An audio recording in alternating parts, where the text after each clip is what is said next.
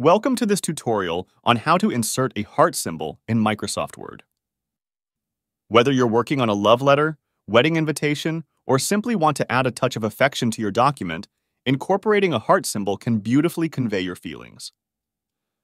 In this video, we'll guide you through three straightforward methods to easily insert a heart symbol into your Word document.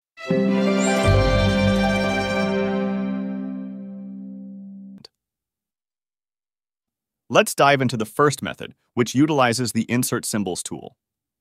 First, open your Microsoft Word document where you'd like to add the heart symbol. Position your cursor at the spot in the document where you wish to insert the heart symbol. Now navigate to the Insert tab on the Word ribbon.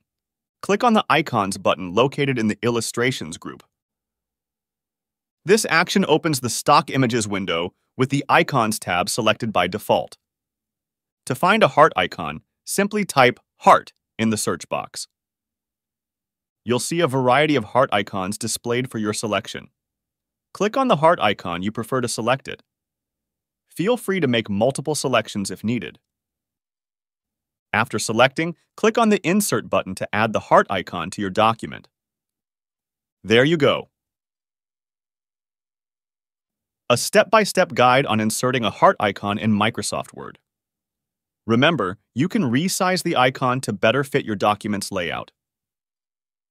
Now let's move on to the next method for inserting a heart text symbol, which is using the symbol dialog box.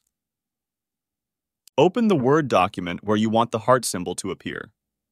Then place your cursor at the precise location for the insertion. Go to the Insert tab on the Word ribbon, then look for the Symbol button in the Symbols group. Click it and choose More Symbols. This opens the Symbol dialog box. In the Symbol dialog box, change the font drop-down to Symbol or a similar font, as these fonts include the heart symbol. Search for Symbol in the font search box, select it, and you'll see the available text symbols. Now, find the heart symbol by scrolling through all these symbols. Once you find the heart symbol, click on it to select then click the Insert button. This will place the heart symbol where your cursor is located in the document. After inserting, you can close the Symbol dialog box. And that's how you may insert the heart symbol in Word using the symbol library. Finally, let's explore the Alt code method for those who prefer keyboard shortcuts. Ensure your numlock is turned on. Place your cursor where you want the heart symbol in your document. Press and hold the Alt key then type 3 on the numeric keypad.